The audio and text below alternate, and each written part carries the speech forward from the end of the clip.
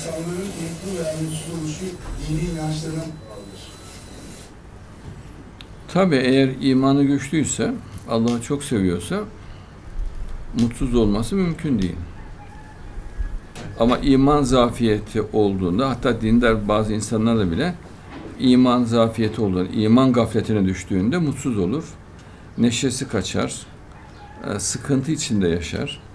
E, Onun bir süre sonra geçeceğini bekler. Halbuki öyle bir şey olduğunda hemen alarm haline geçip şeytan ona oyun oynadığını bilip şiddetli bir atakla onu hemen püskürtmesi lazım o hali.